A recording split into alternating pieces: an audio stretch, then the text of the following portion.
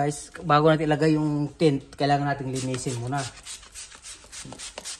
Kasi pag nilagay mo hindi malinis, maraming mga dumi-dumi yan guys. So ito, razor blade. Kuskus lang natin.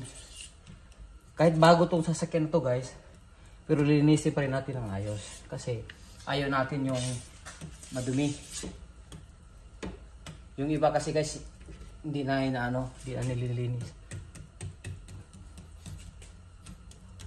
Kasi pagka maalik, may mga alikabok dyan, maano yan guys, sablayan. Mamaya paglagay mo, lalabas dun sa ano, maraming dumi. Pangit guys. Ayaw, ayaw natin yung magreklamo yung ano, ng may-ari, di ba? Kasi nagbabayad sila ng tama guys. Tapos after that, ito na, scrub. I-scrub pa natin. Para sigurado talagang ano, sigurado malinis.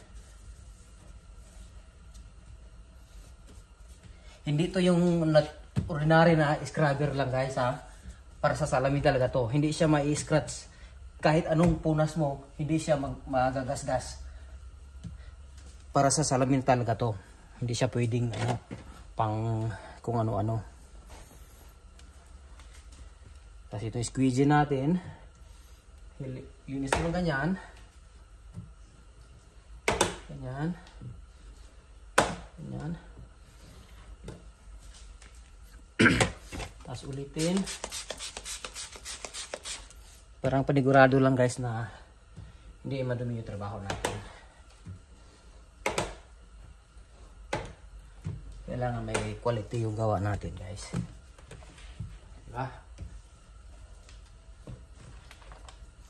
Ngayon, ay ano natin yung iakit, iangat natin yung yung salamin.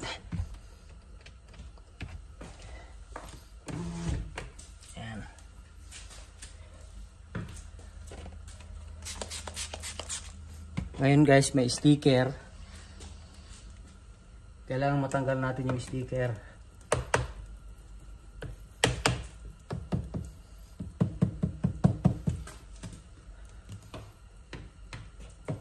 Kailangan tanggalin to guys kasi kapag nilagay mo yung tint dyan, yung film dyan, babako-bako. Sablay tignan guys. Yeah. Kaya ang tanggalin natin. Usually kasi mga bagong sakyan mayroong mga sticker ng ng ano manufacture.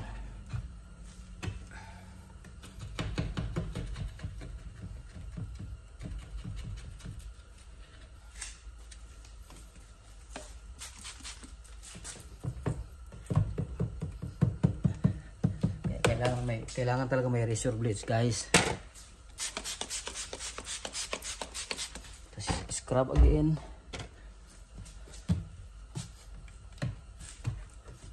Huwag kayong gumamit guys ha ng ordinary na ano pang kuskus sa plato or kung saan yung pang kuskus. Magagasgas yung bintana nyo guys. Order talaga ng ano ng para sa glass. Mura lang naman guys. Kung sino may gusto dyan guys, pwede kayong order guys. Padala, papadala ko sa inyo mga tools kailanganin nyo. Mag, magtayo kayo ng tinting ano sa Pilipinas. Tinting business.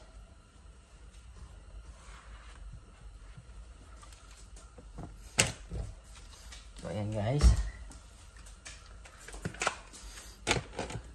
Yan, siguradong maano na yan. Ito may may pump na ano ako na may pressure. Pressure pump, pa-pump mo lang guys. Ito maganda kasi tutulak niya yung ano, yung dumi palabas. Kaya, oh. Ayun. Ready na yung ano natin. Baba ulit. Kailangan nakababa yung bin, ng bintana ng ganyan guys. Kahit ganyan lang. Kahit ganyan lang. Kailangan nakababa. Kasi doon mo i-align yung ano eh. Yung yan. Tapos final cleaning guys. Final cleaning. Yan.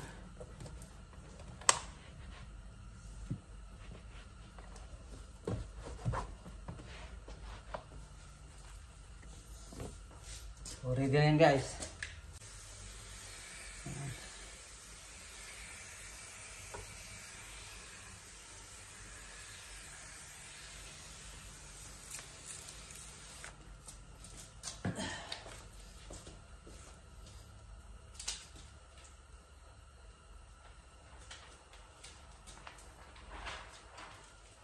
Ayan, guys, ready na guys. Kita nyo? Ang unahin nyo guys, ilalim. Corner dyan. Ku- Kung saan yung malapit sa side mirror. Ang unahin nyo. Siksik mo yung ibang lalim. Ganyan.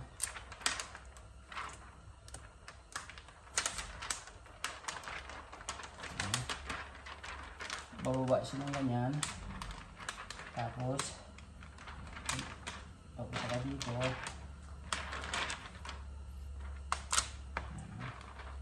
Ayan guys, bumaba na guys. Ayan.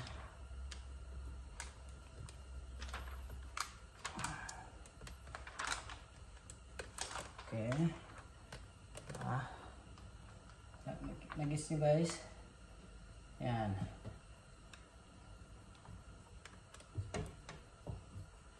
Ganyan lang guys, oh. Kita nyo? Tignan nyo sa likod guys kung kung ah check nyo kung mayroong gap. Kasi kailangan walang gap yan guys. Ayan.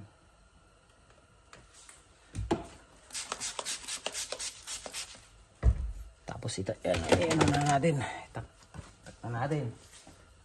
Ialan mo lang yung saktong gap lang dyan. Yan guys, mga 16 guys.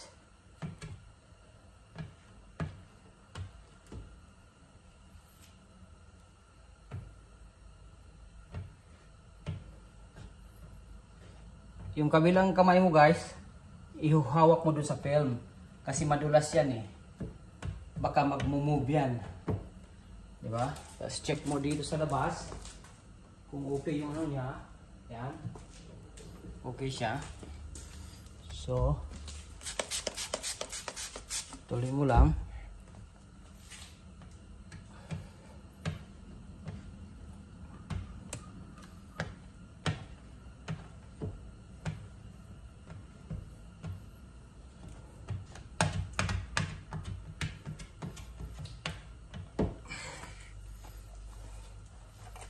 Tapos may sa gilid para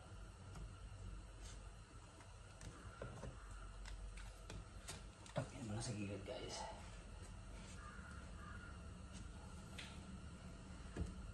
Pupus mo yung pupus mo yung tubig pataas. Ngayon titignan mo kung gagalaw. Test mo guys. Ayun oh. Ba, hindi na gumalaw. So, ibig sabihin, pwede na yan.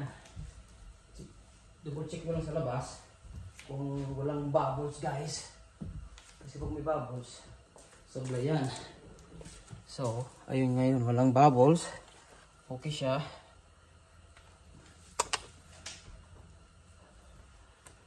Nasa natin ang tuyo na towel. Tapos ito, mayroon kang paper towel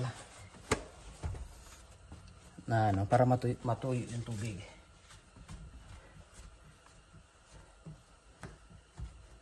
Pupus mo palabas yung yung tubig guys. Yan. Pataas o pa pagilid. Yan. Yan guys.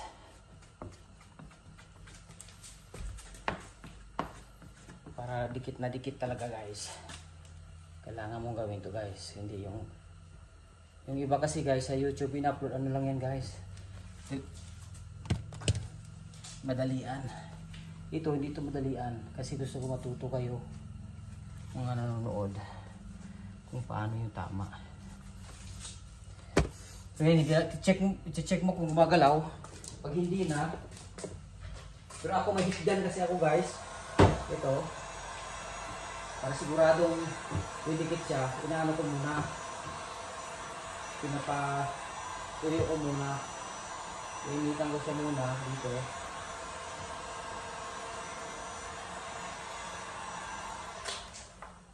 Bago ko siya iangat.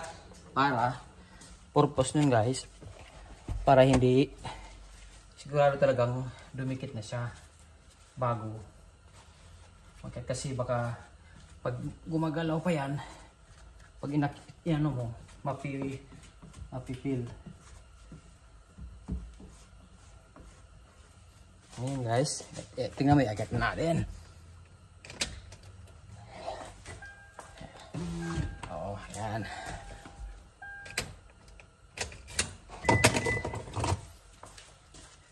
So patuloy lang guys yun. Okay na yun sa taas. Sa baba na. Madali na to guys. Upos mo lang siya dyan. Baba. Gamit ang hard hard card squeegee.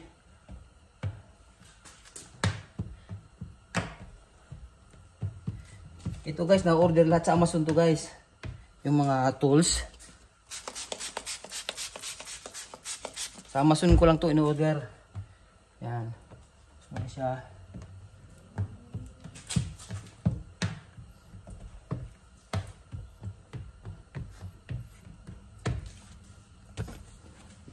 Yan guys, dikit na yan. Dikit na yan siya guys. Hindi na yan gagalaw. Tignan natin sa labas. Double check sa labas. Kung mayroong bubbles, bubbles bawa guys. Bago niyo ibigay sa customer, check niyo muna. Kung may bubbles, bubbles dyan. Huwag niyo ibigay sa customer na may bubbles guys kasi maano tayo. Sablay tayo. Tapos ito na naman, final. Ito.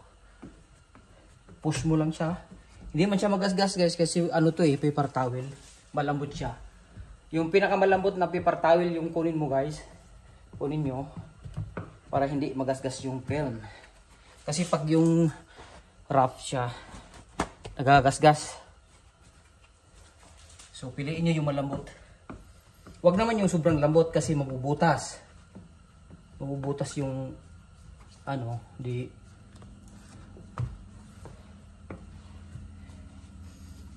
guys. Panoorin to nyo guys hanggang matapos. Yun. Matututo kayo mag-tip guys. Promise. Yan, check mo yung gilid. Push mo yung tubig pa palabas. Tapos, tignan mo ulit dito sa ano, sa labas. Kung, lagi ko yung pag-check sa labas guys. Kung mayroon siyang ano, may, uh, tapos ang ginagawa ko, pinapainit ko ito. Para sa talagang, talagang siguradong dumikit. Ayan.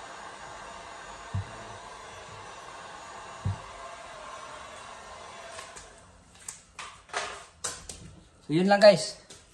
Yun lang. Tapos na yung isang bintana natin.